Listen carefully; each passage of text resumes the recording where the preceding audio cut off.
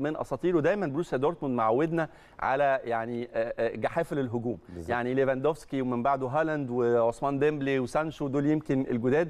لكن الحقيقة دي ده مشوار طويل وعدد كبير جدا من أسماء نفكر عشاق دورتموند. وأنا عارف إن في ممكن جزء من الجمهور يبقى متابع دايما بروسيا دورتموند واحد من عمالقة الحقيقة مش عمالقة بس على مستوى الأسماء والأداء لكن على مستوى التكوين والجسم كمان. يان كولر طبعا نجم الكرة التشيكية واحد من النجوم الجيل الذهبي للتشيك. صحيح. لعب طبعا مع بروسيا دورتموند لعب مع موناكو. هيكون ضيفنا دلوقتي في السادسة آه، من خلال ال video conference بداية طبعا لازم أوجه له شكر وتحية كبيرة جدا على مشاركته معانا واهلا وسهلا بيه دايما على شاشة الأهلي في السادسة. Bonjour merci آه، شكرا جزيلا وشكرا لدعوتكم لي. شكرا لكم. أنت من ال- من المهاجمين اللي مش ممكن آه، يعني ننساهم. واحد من أفراد الجيل الذهبي لمنتخب التشيك وواحد طبعا من مهاجمين ال- المميزين جدا في الدوري الألماني في البوندسليجا وكنت متألق طبعا مع آه، بروسيا دورتموند. خليني أكلمك على مواجهة النهارده. النهارده الصدام أو ال clash الأبرز والأهم هيجمع بين السيتي وهيجمع بين بروسيا دورتموند بتشوف المواجهة إزاي. ça c'est c'est نعم آه، أعتقد أنه ماتش ومباراة مميزة جدا. بسبب آه، هالاند آه، الذي آه، الذي انتقل إلى مانشستر سيتي وهو كان لاعبا بالأمس في بروسيا دورتموند. ولهذا بالطبع أعتقد أن مانشستر سيتي لديها أفضلية طبعا في- بالفوز وبالفوز بال- بالبطولة. ولكن أعتقد أنها ستكون مباراة صعبة جدا. ممكن أسألك سؤال متعلق شوية بفريق بروسيا دورتموند. الحقيقة يمكن مدرسة قدمت لل... ل... ل... لأهم أندية أوروبا كوكبة كبيرة جدا من الأسماء على مدار تاريخ طويل. يعني يعني أنا ممكن أعد آه، آه، آه، 20 أو 30 اسم كانوا نجوم بارزة جدا في سماء الكرة الأوروبية. بدايتهم أو بداية تألقهم كانت من خلال بروسيا دورتموند. والسؤال هنا ليه فريق زي بروسيا دورتموند عنده شعبية وعنده جماهيرية ما بيقدرش يحافظ على آه، نجومه وبالتالي يقدر ينافس على الألقاب الأوروبية.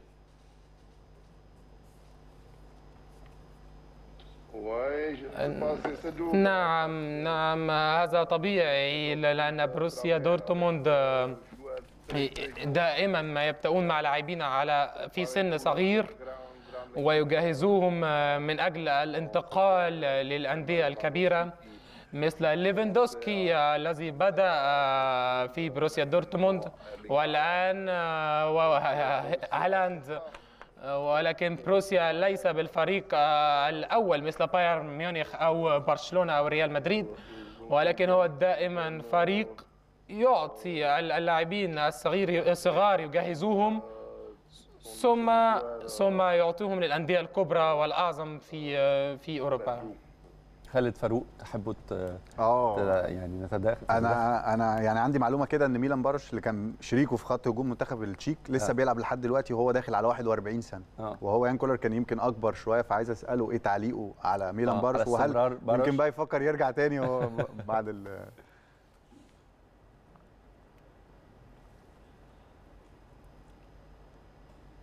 هو هل ال- السؤال وصل له؟ السؤال وصل ليان كولر طيب هو السؤال إنه ميلان باروش يعني فاروق كان بيسأل إنه ميلان باروش شريكه في قيادة خط هجوم منتخب تشيك ما زال في الملعب لغاية النهارده إزاي بيشوف ده؟ من يورو 2004 من يورو 2004 بالظبط كده. نعم نعم. في الوقت الحالي هو ما هو ما زال يسعى و- و- و- وفي ويعيش الآن في التشيك ويبقى في دولة التشيك ونحن دائما على على علاقة قوية ونتواصل بشكل دائم بعد المباريات ونلعب بعد المباريات الودية بيننا وبين أصدقائنا ودائما على علاقة قوية. خالد. أنا بس عندي سؤال ما أعرفش هل هو آه، آه، لحقه ولا لأ. هو طبعا آه، آه، يان كولر بنرحب بيه طبعا نجم كبير جدا. طبعاً. كلنا اتربينا على يان كولر وإحنا بنتفرج عليه ف... فنجم كبير جدا بنرحب بيه. هو ما لحقش محمد زيدان بس ما ينفعش يبقى عندي يان كولر النجم الكبير اللي لعب في بروسيا دورتموند وما اسالوش عن فترة كابتن محمد زيدان مع بروسيا ما كملتش ليه يعني؟ أيوة. تقييمه لفترة محمد زيدان في بروسيا دورتموند مش أكتر. نعم محمد زيدان. محمد زيدان كان لاعبا أكثر من رائع لاعب بالفعل آه، كبير خطير آه، وفي بروسيا دورتموند آه، كان كان لاعبا رائع. وع- وع- وع- وعلى فكرة أنا دائما بتواصل مع محمد زيدان. نحن على نحن في تواصل دائما. ونحن سنلعب مباراة قريبا. ومحمد زيدان سيكون معي. في آه، في مباراة قادمة. فهو الآن ومن قبل حتى الآن هو ما زال لاعب رائع. هو ما زال لاعب يمتلك الكثير من الإمكانيات والمهارات. اتفضل فاروق. أنا كان ليا سؤال عايز أوجهه له. طبعا عارفين إن يورجن كلوب من واحد من أفضل المدربين اللي مروا على تاريخ بروسيا دورتموند. إحنا بنتكلم دلوقتي فترة تراجع بالنسبة لليفربول بعد العام السابع. هو دايما بيمضي العقد بتاعه لمدة سبع سنوات. فأنا عايز أعرف رأيه سبب هل فعلا ليفربول مع يورجن كلوب بعد السبع بعد سبع مواسم هيكون في تراجع؟ زي التراجع اللي كان في آخر موسم ليه مع بروسيا دورتموند واللي أدى رحيله من بروسيا دورتموند. هل ليفربول معرض لنفس الأزمة دي مع يورجن كلوب ولا لأ؟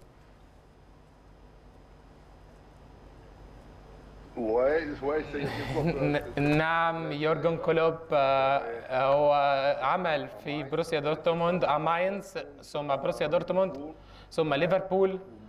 ولكن بالنسبة لي آه، آه، لكن بالنسبة لي يورجن كلوب هو مدرب كما أقول مدرب كبير آه، أتمنى أتمنى أن يستمر على المستوى الجيد ولا يختلف الأمر بعد سبعة أعوام مع ليفربول.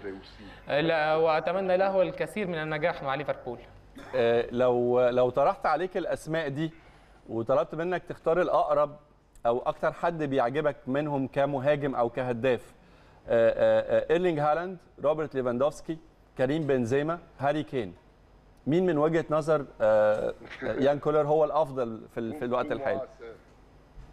Pour moi, c'est 100%. euh, آه، مئة بالمئة هو Pour moi, c'est 100%. Erling Haaland. بالنسبة لي آه، بمئة في المئة هو هالاند هالاند هو اللاعب الكبير بمعنى الكلمة ولديه أيضا شخصية جميلة ورائعة ول- وبالنسبة لي هو هو في المرتبة الأعلى هو في المرتبة الأفضل آه، فوق آه، كشخص و- و- وكلاعب أيضا فسأختار إيرلينج هالاند آه، من وجهة نظرك هل إنه الدوري الألماني يفقد نجمين في نفس التوقيت في نفس الموسم بحجم ليفاندوفسكي وبحجم هالاند؟ ليفاندوفسكي للبارسا هالاند للمان سيتي. ده يأثر على آه، واحد قوة المسابقة آه، والجماهيرية والشعبية. اثنين فرص الفرق اللي بتتنافس على تحقيق لقب البطولة ولا لأ؟ هذا حقيقي بالفعل. بالطبع هو لاعبان كبيران جدا. هما أفضل لاعبان في في الدوري الألماني. ف- ولهذا الدوري الألماني بالفعل فقد اثنان من أكبر اللاعبين الذي لعب في تاريخ الدوري الألماني. ولكن أتمنى آه، أن يأتي الآخرين وسيأتي لاعبين آه، أيضا رائعين إلى الدوري الألماني للبايرن ولبروسيا دورتموند وأتمنى على أن يكون اللاعبين على نفس مستوى هالاند وليفاندوسكي. يهمني كمان أسألك مش بس على الدوري الألماني وعلى بروسيا دورتموند يهمني أسألك على تشيك اللي في فترة من الفترات يعني يمكن الجيل بتاعك قدر يعمل نقلة نوعية للكرة التشيكية وقدر يحط منتخب تشيك على خريطة المنتخبات القوية على مستوى العالم وبالتالي يهمني أسألك إيه اللي حصل وليه التراجع اللي حصل على مدار السنوات الأخيرة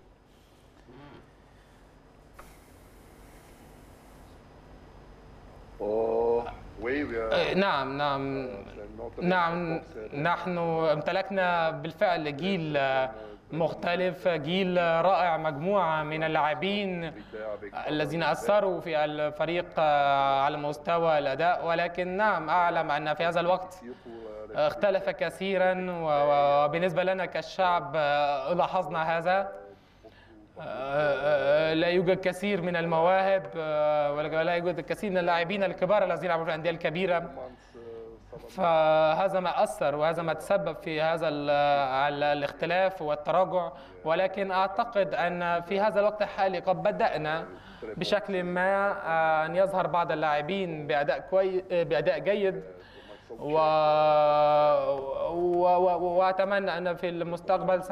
س... لدينا الآن حارس جيد جدا آه، على مستوى حارس المرمى ونتمنى أن في الوقت ال- القادم يتقدم اللاعبون لمستوى أفضل طيب اتفضل خالد أنا آخر حاجة بس بما إننا اتكلمنا عن منتخب التشيك وإحنا عاصرنا منتخب التشيك في نجوم كبار زي يان كولر زي بيتر تشيك زي بافل نادفيد كان عدد. من. الأسماء الكبيرة جدا في فعلا. عالم كرة القدم عامة مين اللي يان كولر بحكم متابعته أكيد لمنتخب التشيك بمختلف أعماره وروزيسكي طبعا وروزاسكي قطعا آه. وروزاسكي آه. آه مين اللي يقدر يقول إن هو ال next superstar مين اللي آه. يقدر يقول من الأجيال اللي طالعة إن هو هيبقى النجم الأول في منتخب التشيك. بالظبط